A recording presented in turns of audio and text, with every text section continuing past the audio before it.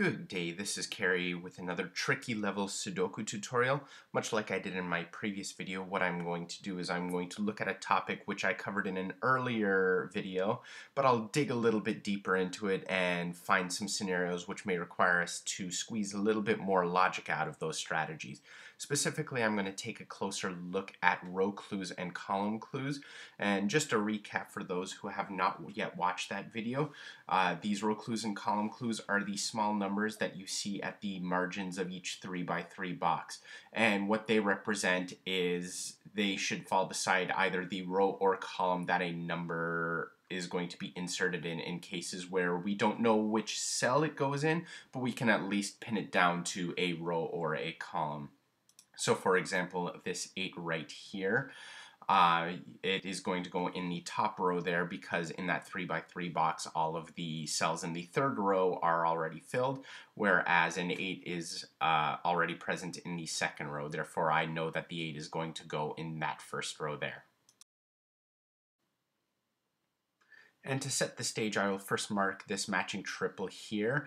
The last three numbers to go in that box are a 4, 5, and 8, all in the same column. We can't solve them yet, but we can at least show that those will be the three numbers in some order. So I'll at least mark those three numbers as column clues.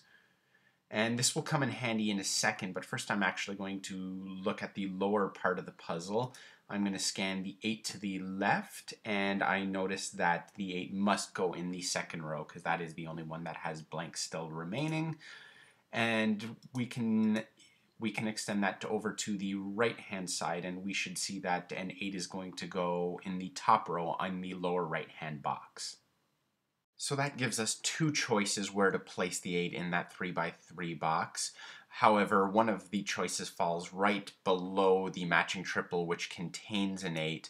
And if I scan the 8 over into that 3x3 box, I notice that I have only one place to put the 8. And the key takeaway there is because I know in the box above it where which column the 8 goes, I don't actually have to place the 8 inside that box to know that I can eliminate the left cell. Uh, regardless of where the 8 is, that cell is going to be eliminated and I can place the 8 in the rightmost cell. Now that we've placed that 8, we can look at the top right hand box beside our other column clue of 8 and we should be able to see that the 8 must go into that middle column. And we may as well complete that column by inserting the 7 in the one blank cell. And we can repeat this strategy uh, by scanning the other digits in the matching triple. I'm going to scan the 4 down into the lower right hand box and I notice that only one cell is available for us to place the 4 in that box. So I'm going to switch over to a different puzzle to give you a different demonstration. I'm fairly well right at the beginning. I've just scanned a few numbers and now I'm on the fours. But what I'm going to do is I'm going to look at the lower center box and I can see that the 4 will go in the middle column, one of those two cells, so I can place a column clue there. That also means I can place a column clue in the box above it, which will go in the right hand column. But since two of the rows already have a 4, I know that the 4 must go in the lower row. So I'll place the 4 there. And now I'm going to do a scan on the 5s.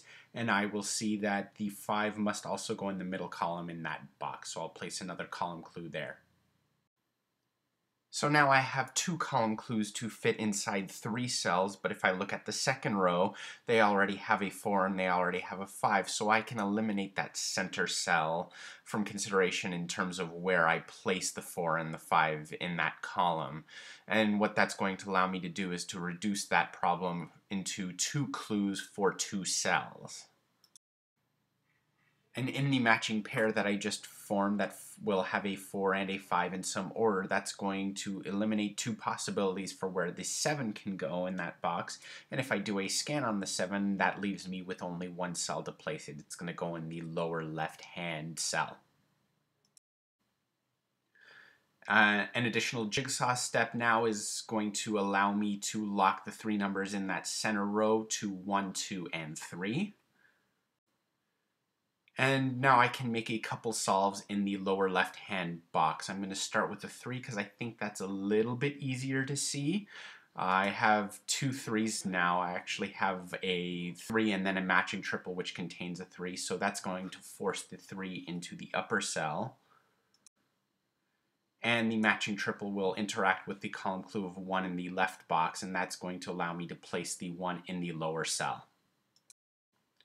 So that will wrap things up for this lesson. As always, I appreciate you taking the time to watch this video, and hopefully you're able to make some additional headway with these strategies. I thank you for watching. Catch you later.